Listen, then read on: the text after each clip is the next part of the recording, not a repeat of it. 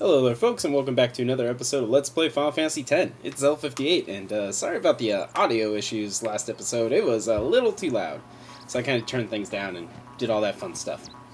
This episode, I'm going to do a little bit of exploring. Uh, since we get a free Chocobo ride, I am going to use it. Now, with the Chocobo, you don't run into any random encounters. It's true, but in this case, I don't. If I if I left it with the random encounters, this would probably be two episodes long and some of the uh, items I'm trying to get, I would need the Chocobo for. So, yeah, gotta make that work, you know? Okay, let's see here. We run all the way down, we get uh, one rare item, but here, let's see what's going on here. What are you doing on this road? Oh, you know. I see. The high road ends over there. However, we have sealed off the area beyond for the duration of our operation here. You may ask the gate captain up ahead if you need to pass through. Well, thanks for letting us know about that. Hmm. Alright, so I just need to remember where all the secrets are. Where are all the secrets? Let's see. Well, if we go over here, you see a little chocobo feather. That's the little indicator that yeah, your chocobo can do something there. And as you see, he jumps up and gets a chest, and we get the fortune sphere. Cool. I believe that's the one that allows us to make a luck uh, node. Coming down to the old road was a mistake. You can't run a business with no customers. Say, can I interest you? Cool, there's Spare? Owalka. And I have enough Gil to give him enough to uh, go over 10,000. Make it up to you. Sweet. So now I'll get the uh, best uh, possible discount, which I believe is 0.7. Uh, it's like it's like 30% off. And yeah, all the way at the end here we get the Mars crest, and uh, we'll be using that way later in the game. It's good to get now, so we don't have to come back here and go get it. And I guess there's could have sworn you could jump up around here. I don't see any feathers. I'm just gonna give up on that. Because we got plenty more to, to search around. And I don't want to make the whole episode about it. I want to get some story going on. I think there's a place I can jump up there. I might come back to that. We'll see. We're just we're gonna have a good time. Enjoy the uh, enjoy the adventure. Jeez, someone can't talk right now. Well, it's kind of late. I usually do these in like the afternoon. It's pretty late for me, and I'm not drunk. Now, how do I get over there? I'm pretty sure that it's from down there, but you can never be too sure. Oh, here we go. Here's another spot. I mean, these items aren't like, oh my god, if you miss them, you're in deep trouble. But they're just nice to get. Let's see, what do we get here? A heat lance, cool. I probably won't be using it, but you know, still nice to get. trying to get as much as I can remember.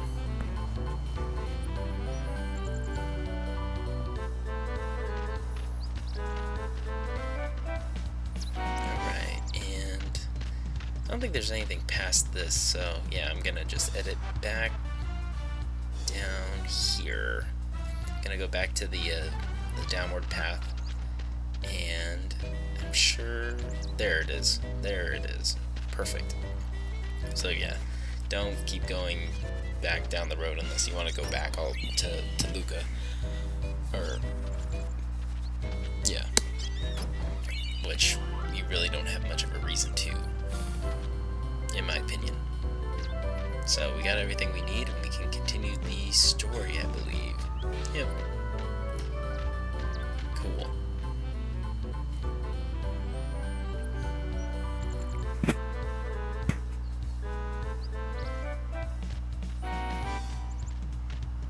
Alright, let's get off this have to leave your chocobo. chocobo. Come on, everyone off. Yeah, yeah, yeah.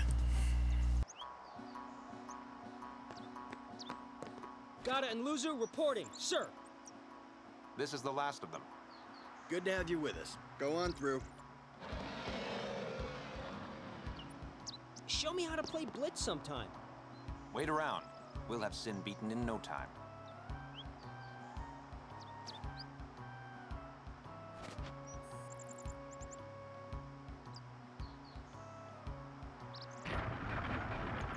Alright, and with that, we try to move past here, but they just will not let us. They. What do they say right here? and her guardian. Yeah, sorry right? for the inconvenience, Sorry blah, the blah, blah. Uh, Thank he you asked for about the operation. Uh, and, sorry, and, I can't uh, let you- it talked to him further. He'll ask for donations. And I actually, I'm gonna. Oh, I'll, I'll explain in a sec.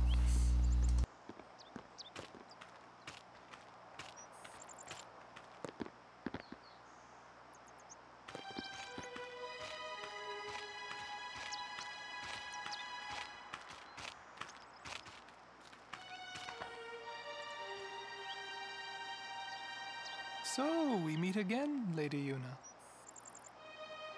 Y- yes? You look troubled. Is there anything I can do? Well,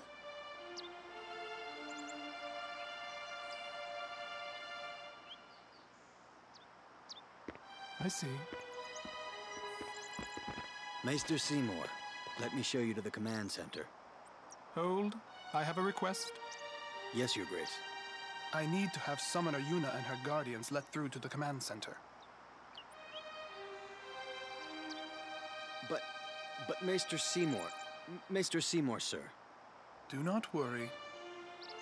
I will take full responsibility. Very well, they may pass.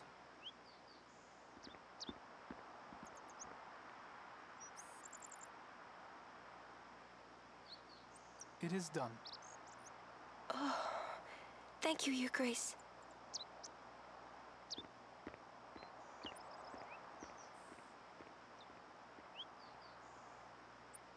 Yuna, it's time to go.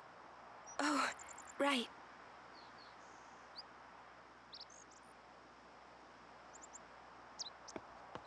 Who does he think he is? He's a maester. Better get used to it, yeah?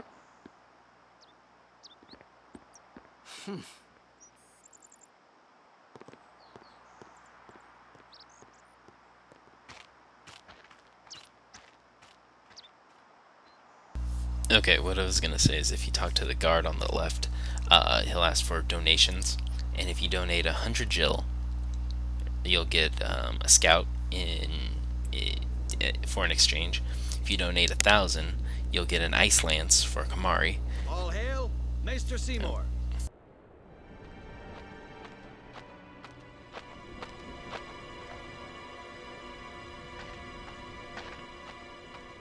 Brave crusaders of Spira, protectors of all Spira.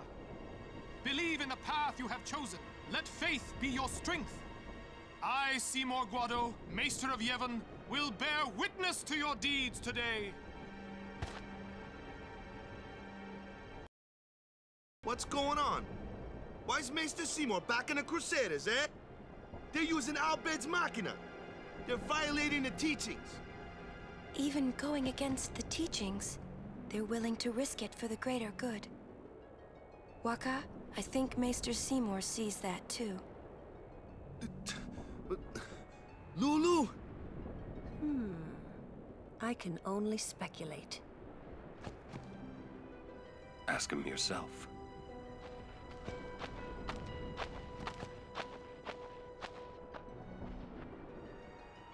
Ah, Sir Auron. It is an honor. I would be most interested in hearing what you've been doing these past ten years. I've got nothing to say about it. I see. Sir Auron must be a great asset as a guardian. Your Grace! Please, there's no need for formalities. Excuse me. Maester Seymour, why is your lordship presently present here, sir?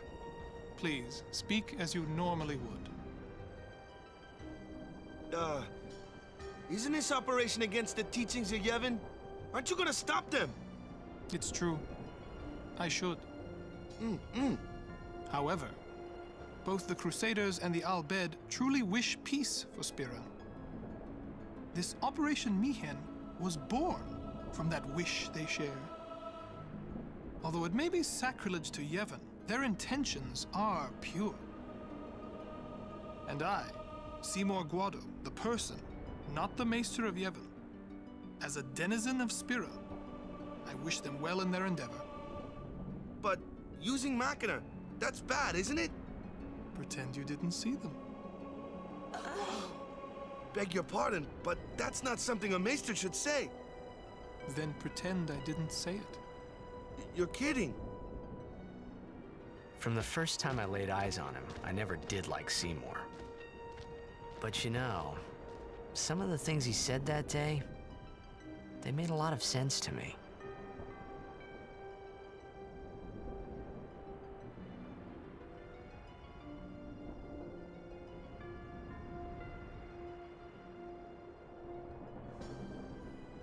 Ah, oh, geez, now we're so far ahead of the story. If you donate 10,000 Gil, you'll get to Yuna's mood ring, or moon ring, which is, uh, I mean, it's alright. and then, yeah, we'll talk to some of these guys, we'll get some, uh, items as usual. Excuse me, Lady Summoner Yuna? Yes. The command center. Maester Seymour requests your presence there, ma'am. Thank you. Take that road to the command center. It's not far. We're still in the midst of preparations this way. Sorry. Okay, so this next portion here, definitely, definitely, definitely recommend getting Lulu, um, you know, work on her because uh, you want to get her as far into the sphere grid so she can learn her next level of, you know, fire, ice, you know, the fire up, Blizzara, whatever they call it, the, the second level of it, because it, uh, there's a boss fight coming up where it'd be very, very useful.